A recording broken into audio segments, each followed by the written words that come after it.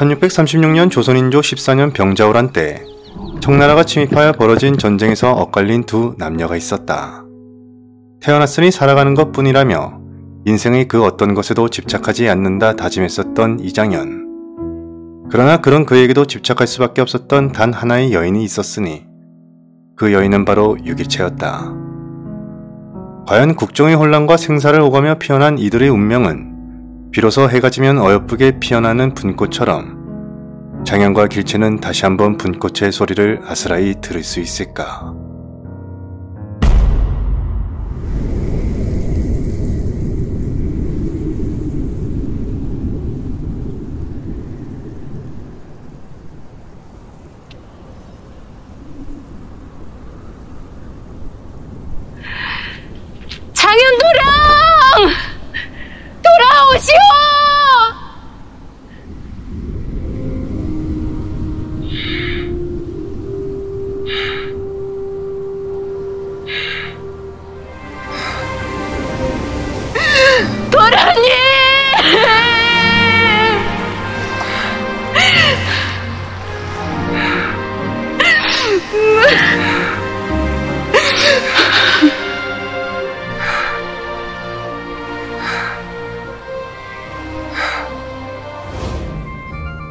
어느 날 님께 물었습니다. 나를 처음 보았던 나를 기억하십니까? 님께선 기억하다마다 그날 아주 진귀한 소리를 들었거든 하셨지요. 무슨 소리를 들으셨소? 물었더니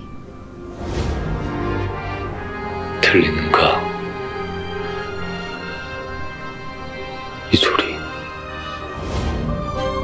붕꽃이 피는 소리를 들어본 적 있습니까? 내 오늘 그 진기한 소리를 들었소. 꽃소리.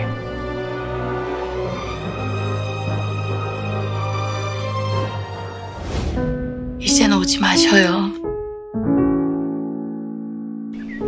난 이승에서 사내 준비도 하고 조선별도 좋은 구경 다 하며 천수를 누리다 갈 생각이니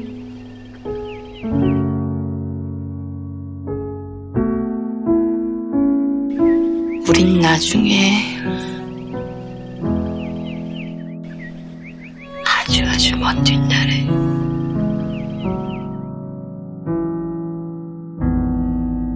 다시 만납시다.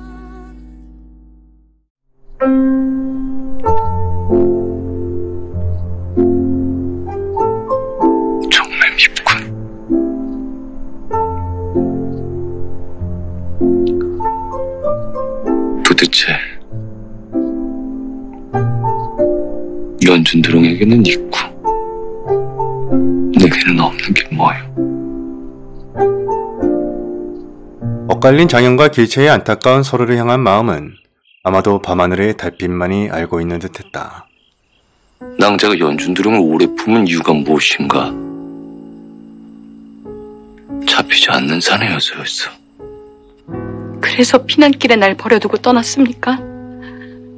다정하게 입 맞추고 내동댕이셨습니까? 버린 것이 아니오. 밀어낸 것이 아니오. 난, 난 여기 있었어요. 한시도 떠나지 않고 여기 매일같이 도련님을 기다리고 그리워하면서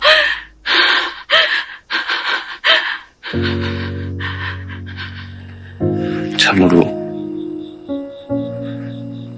나를 그리워했어. 날 기다렸어. 아니,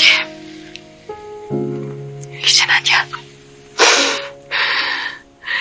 이젠 기다리지도, 그리워하지도 않아.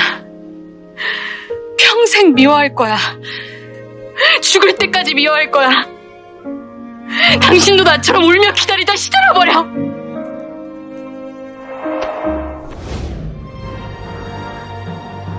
날 연모하진 뭐 않아도 날 잊지는 마시오. 오늘을 나와 함께한 이 순간을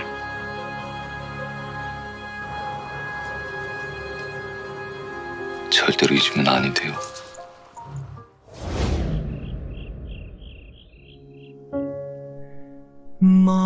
잠시 흔들린 것은 사실이나 저는 모든 것을 버리고 도련님을 따를 만큼 도련님을 믿지도 연모하지도 않습니다. 혹여 짧은 정이라도 남아있다면 저에 관한 것은 다 잊어주십시오.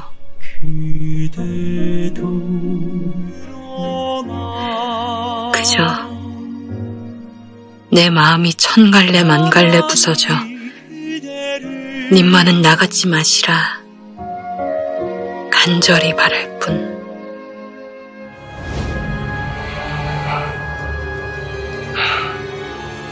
이제부터 여긴 아무도 못 지나간다.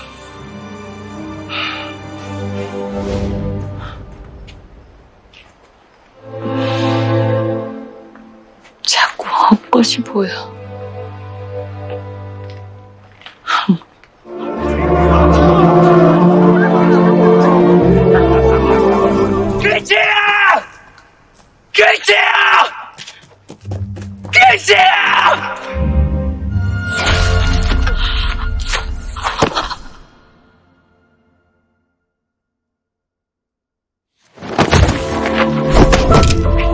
심양으로 끌려오게 된 길채와 다시 만나게 된 장현은 길채의 시들어버린 모습을 보고 끝내 분노하게 된다.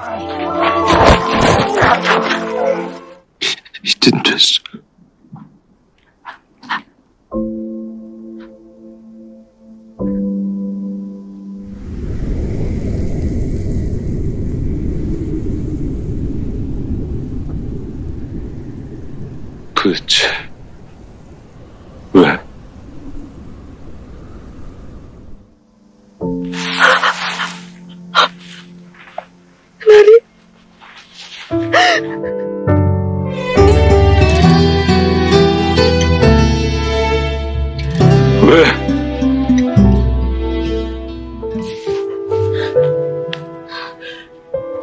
나리. 나리. 로만치 멀어져 보여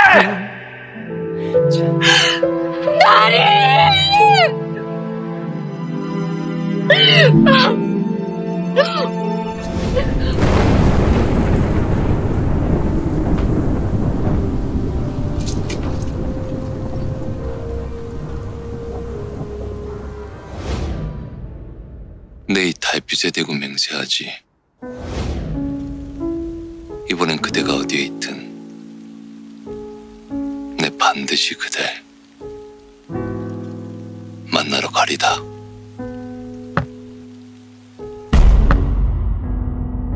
사랑하면서도 사랑임을 깨닫지 못하는 길채와 자신을 사랑하지 않는 것을 알면서도 더 사랑하게 되는 장현의 사랑 이야기.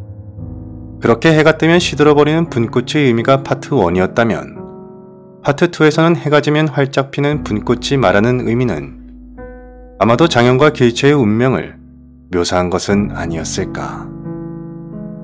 다음 내용이 궁금하다면 구독과 알림 설정은 꼭 잊지 말아주세요. 저는 그럼 다음화에서 찾아뵙도록 하겠습니다. 영상이 마음에 들었다면 구독과 좋아요는 사랑입니다.